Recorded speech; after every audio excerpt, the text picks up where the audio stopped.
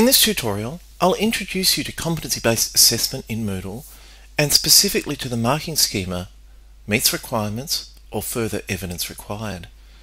I have an example Moodle site here. I have some pre-existing assessments and I've also had some student activity occur. I'm going to focus my attention on three of the most common assessment tools. They are the Assignments tool, Discussion Fora, and computer marked quizzes. If you're not familiar with the setup of these tools, I have separate screen recordings that you can view after this. I'll start with the assignment first showing you the settings that are applied. So I'm going to go to Edit and Edit Settings. Let me first draw your attention to the area that it talks about the grading method.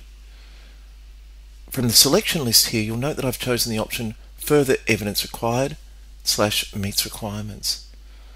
A consideration to make is whether or not you'll allow for resubmission. So for instance, if you grade a piece of work as re further evidence required, will you allow the student to resubmit? For that, I turn to the submission settings. If you wish to allow for resubmission, set the attempts reopened to manually. So now let's have a look at the marking of student work submitted to that assignment. If I click on the assignment title itself and go to View, Grade, All Submissions, I can see that there's a piece of work here awaiting my grading. I can click on the little grade icon. Click on the student work to open that up and review it.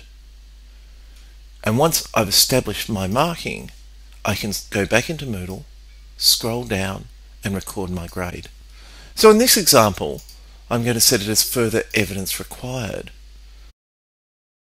I should now give feedback to my students about what further evidence I might expect from them. I also want my student to resubmit, so I'm going to choose yes from allow another attempt, and then I'm going to scroll down and hit save changes.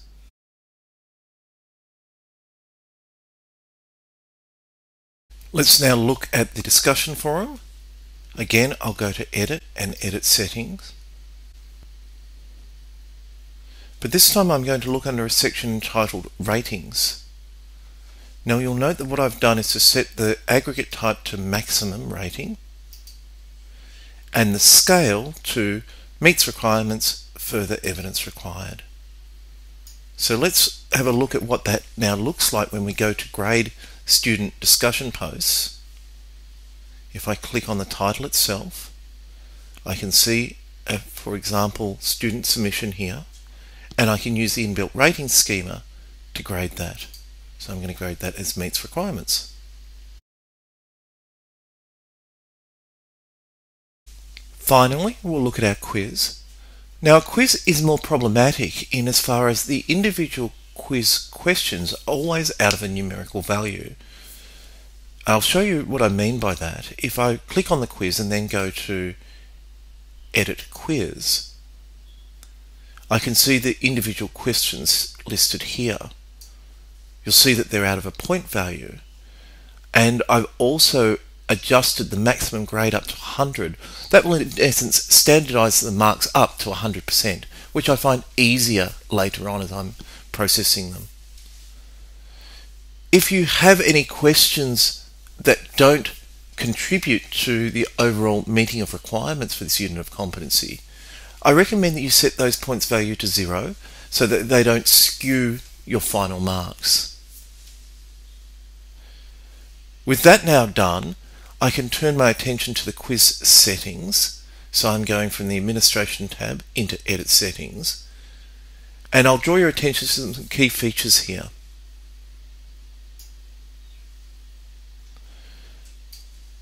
The first is in the review options.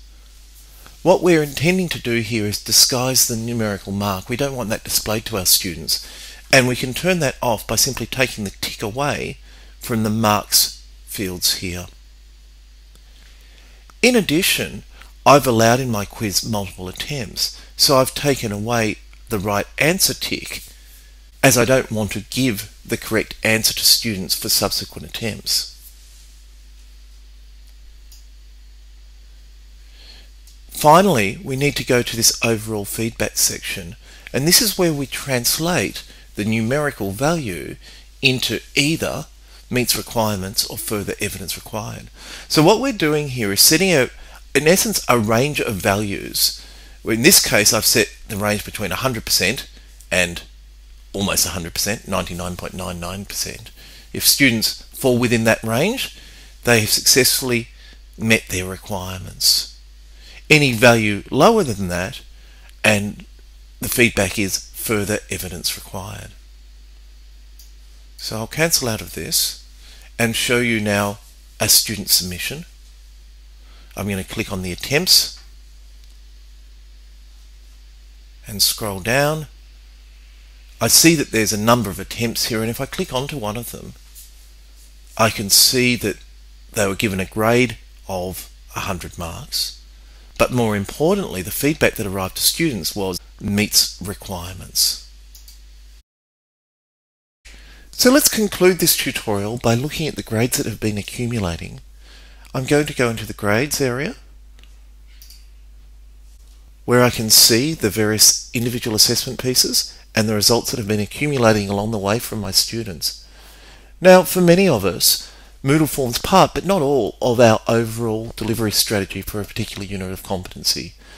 You're likely to have other forms of evidence, such as class-based assessments and other offline activities that will contribute to the overall assessment for this unit. Once you have consolidated that information, you can use it to record your final assessment in Markbook. The attached guides provided below the tutorial will assist you in this. And recall that there are further recordings to show detailed instructions around assignments, discussions, and quizzes available separately.